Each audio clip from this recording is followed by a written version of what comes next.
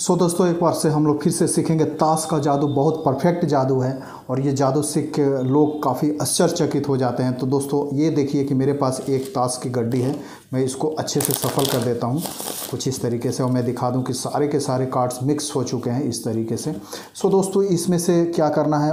अगर आपके सामने कोई दर्शक होंगे, ऑडियंस होंगे, उनसे कहेंगे कि इसको आधा आधे डेक में बाँट देंगे इस तरीके से, ठीक है? इस तरीके से। फिर इसको आधे आधे डेक में इस तरीके से बांट देंगे।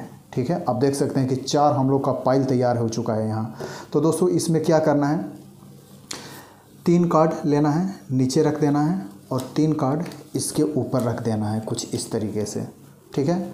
ये वाले पाइल को उठाना है, फिर तीन कार्ड नीचे रख देना है और इसके ऊपर एक एक कार्ड रख देना है दूसरे पाइल पे। इसके ऊपर ये भी करना है, तीन कार्ड लेना है, नीचे रखना है और एक एक कार्ड सब पाइल पे रख देना है।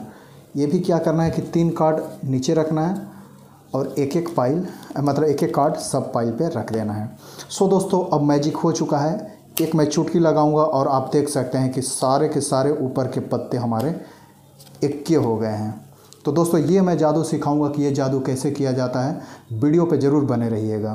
तो दोस्तों, इस ताश की जादू को करने के लिए आपको चाहिए होगी एक ताश की गड्डी, कोई भी एक ताश की गड्डी ले लें, ठीक है, इस तरीके से काट होगा। उसमें से चारे इक्कों को निकाल के आप सबसे पहले बाहर कर लें, इस तरीके से। चारों इक्कों को बाहर कर लेंगे आप और इसको टॉप पे रख देंगे सबसे ऊपर, ठीक है?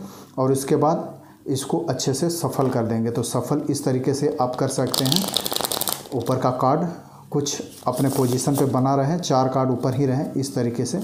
सफल कर सकते हैं, या इस तरीके का एक सफल होता है जिसको ओवर हैंड सफल बोलते हैं, इस तरीके से भी हम लोग सफल कर देंगे। तो इसमें भी चार कार्ड हमारा टॉप पे इक्का बना रहेगा। ठीक है, उसके बाद ऑडियंस को बुलाना है, या खुद कीजिए। बोले कि ऑडियंस से कि आधे डेक को कट करके सामने रख दें। तो इस तरीके से आधा डक डेक कट करके उन्होंने बगल में रख दिया। और फिर बोलना है कि इस दोनों डेक से आधे आधे कार्ड्स काट के उसके साइड में रख दें तो इस तरीके से आप रख देंगे।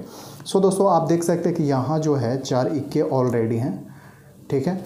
इसको यहाँ से स्टार्ट नहीं करना है यहाँ से स्टार्ट करना। है इसमें करना क्या है कि तीन कार्ड को लेना है बॉटम में डाल देना है, और एक एक कार्ड इस पाइल के ऊपर रख देना है।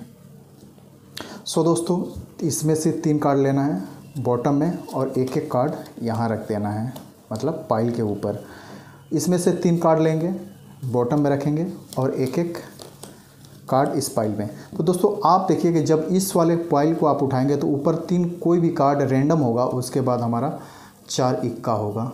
कुछ इस तरीके से आप देख सकते हैं, ठीक है? तो इसमें करना क्या है कि बोलना है कि तीन कार्ड को हम लोग नीचे रख देंगे और यही जो इक्के हैं, इसके ऊपर आ जाएँगे।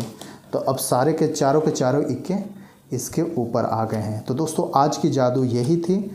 चलिए, वीडियो पसंद आएगा तो प्लीज़ इस वीडियो को ज़रूर लाइक कीजिएगा चैनल को सब्सक्राइब कीजिएगा इसी तरीके के बेहतरीन ट्रिक्स मैजिक ट्रिक्स के लिए। नेक्स्ट वीडियो में दोस्तों फिर मिलेंगे हम लोग कोई नए जादू के साथ। सब्सक्राइब कीजिएगा ज़रूर चैनल को। बाय